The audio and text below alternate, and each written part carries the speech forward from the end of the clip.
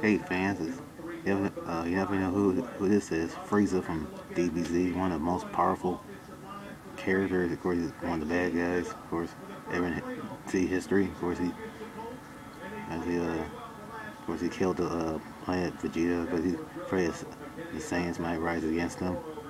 So, kind of raised Vegeta. You know, Vegeta's not fond of him, but Vegeta always kind of is angry for him from Frieza. Because Frieza had a lot of warriors working for him. They dare don't cross Frieza, go, they don't pay the price, they mess with Frieza. Because he want to be uh, immortal, so and, uh, Gohan and Krillin and team up with Vegeta, with, even with Piccolo and Frieza, they, they couldn't stop him.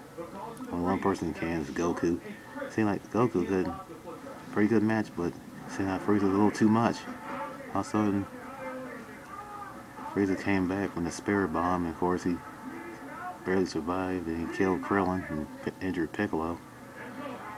Seeing the sight of Krillin dying inspired Goku, he finally became a Super Saiyan. Frieza could have a match later on, and of course Frieza got menaced in at the hands of Goku, but he survived. Survived, and he came to Earth looking Advantage against the Earth. It's a Goku. Man, a, a, mysterious young man named Trunks took care of him easily. Also took care of his father, King Cold. Frieza, one of the most popular characters in DBZ history. Of course, he later up with Cell. Fight against Goku, but both him and Frieza, Cell no match for Goku. But Frieza, Frieza always transformations, his 100% when he came when he fought against Trunks, he was a half like a cyborg, whatever.